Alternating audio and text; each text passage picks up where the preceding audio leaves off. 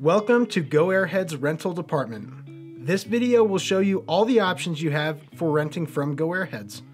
Please pay full attention to the rules to ensure that your gun performs well and will need to be followed exactly to help avoid any fees from damaging our rentals.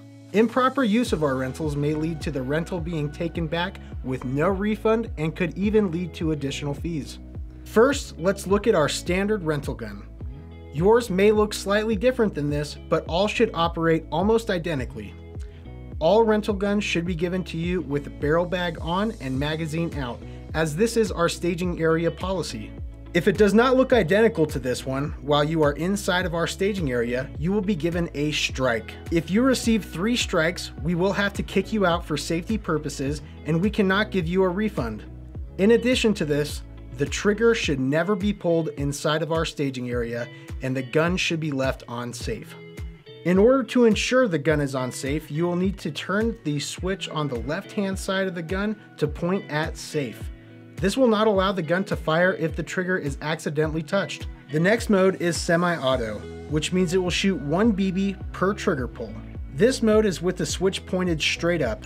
This mode will be used when engaging enemies within 20 feet. Keep in mind the gun is battery operated, so it is possible if you have a quick trigger finger or the battery is getting low for the gun to lock up. If this happens, please flip the gun into fully automatic, which is with the switch pointed towards the back of the gun, give it a couple second bursts, and then flip it back into semi-automatic, which is vertical. And you should be able to fire again. Fully automatic is indicated by pointing the switch to the back of the rifle.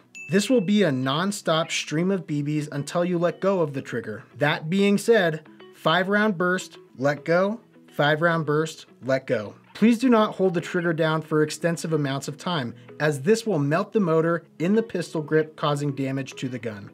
The second is so you can keep your magazine fully wound in order to feed ammo into your gun so it does not start skipping shots. To load ammo into your gun, you must press the magazine release on the right hand side of your gun. You will press this button while also pulling down on the magazine to get it out of the gun. This is a standard M4 high cap magazine. It holds 300 rounds and is loaded from the top by opening the latch and putting BBs in from there. If you have a bag, it is easiest to take your magazine and bury it inside of the bag. You will then scoop over until the magazine is full. Once it is full, remove the magazine and close the latch on top. Immediately seal the bag because any ammo that falls out on the table or ground is no longer allowed to be used. Once the magazine is filled, look at the winding wheel on the bottom. It winds in one direction only and cannot be wound backwards. Winding this wheel forces BBs up and into the gun. This will need to be fully wound in order for the gun to feed BBs effectively and should be consistently rewound on the field in the gun. This will need to be fully wound in order for the gun to feed BBs effectively and should be constantly rewound while on the field. Rewind every few shots to ensure feeding reliability. When inserting the magazine into the gun, make sure to tap the magazine into the gun to make sure it is fully seated in the gun. This will be checked by pulling lightly on the magazine after inserting it to make sure it does not fall out of the gun and get lost. Moving to the back of the gun, you will find the stock. This can be adjusted back and forth to your comfort while holding the lever down. Sliding the stock till it feels comfortable and then releasing the lever making sure it clicks into place. Keep in mind the battery and wires are housed in the stock. If you ever feel much resistance pulling or pushing the stock, do not force it. You could do serious damage to the wires. Instead, ask an employee for assistance. The most important thing to notice is the serial number. At the time of renting, you will be issued a serial specific gun and you must come back with that serial specific gun. If you bring back anything else, unfortunately, we cannot accept it. Pro level rifles operate in an identical manner. The differences are that they typically are full metal, have a higher rate of fire, have a higher FPS, and have tighter trigger groups at a range. We offer this as a great way to see the difference of quality between different price points and guns and to more easily compete with the regulars that come out to Go Airheads. Finally, we have our Polar Star rentals. These are hand-tuned, high-end performing guns that will perform at the top 5% of guns on the field. These guns are not battery powered, but instead work off of high pressure air that you fill an HPA bottle attached to the gun. This package will include not only the gun and air system for the gun, but will also include a vest rental package, a bottle of 0.28 gram BBs, and unlimited all day air so that you can refill at the front shop by showing your all day air pass. This is the ultimate combo deal for new players who want to dominate on the field. This is our standard rental mask. You must wear this eye protection on the field at all times and never take it off while on the field. This is very dangerous. On the back side, you have two plastic tabs. You can pull them together to tighten, or you can pull them apart to loosen. Your mask may or may not come with a chin strap, if they are there and you would like to use them, feel free to do so. Please double check the lenses to make sure there are no cracks or deformities on the mask or lens. This is the Go Airheads rental vest package. This will be included in all Polar Star rental packages.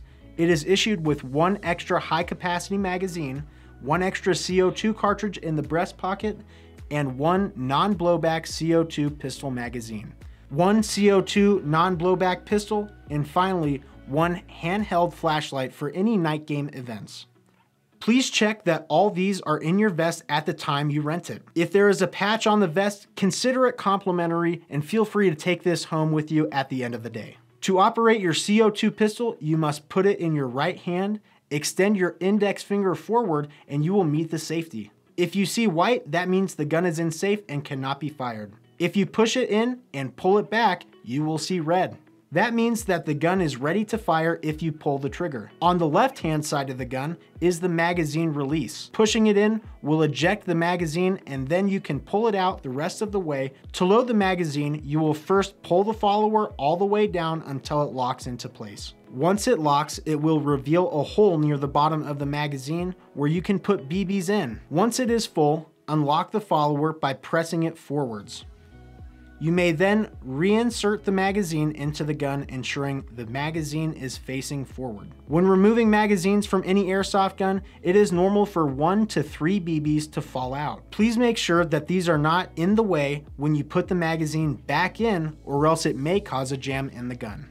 To reload the gun with CO2, open the back strap, unscrew the bottom screw, take the old CO2 out and throw it in the trash. Insert your new CO2 cartridge Tighten the screw until there is no hissing sound, and then close the backstrap. As a final reminder, all BBs must be biodegradable and you must not use any BBs found on the ground.